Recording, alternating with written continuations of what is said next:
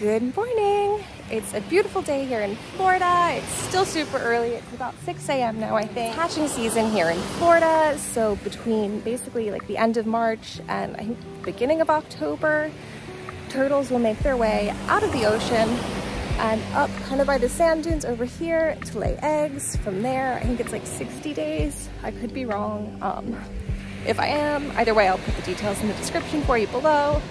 Basically, once they hatch, they'll make their way from up here down into the ocean toward the moon or the sunset, sunrise. You can tell I haven't had my coffee yet today. Um, and back into the ocean. So let's go see if we can spot some turtles this morning.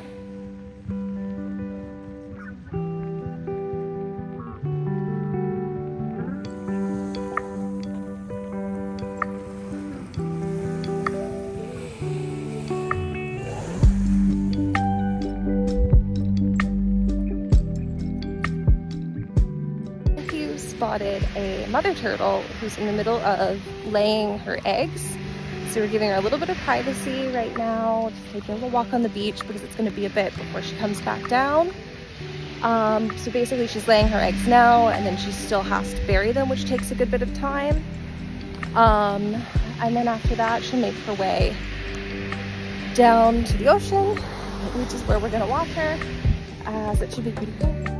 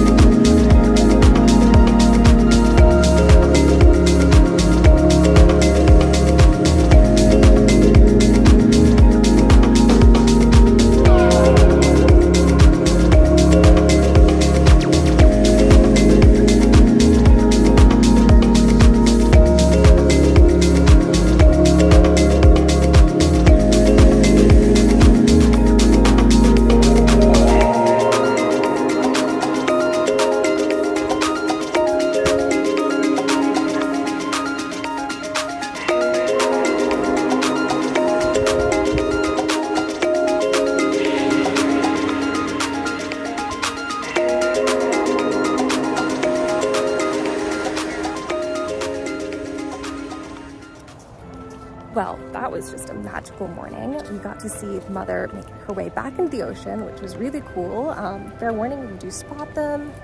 It took probably like 10 minutes for the turtle to get all the way back into the water because we're basically dragging their bodies um, through the sand to get to the water. But it was very, very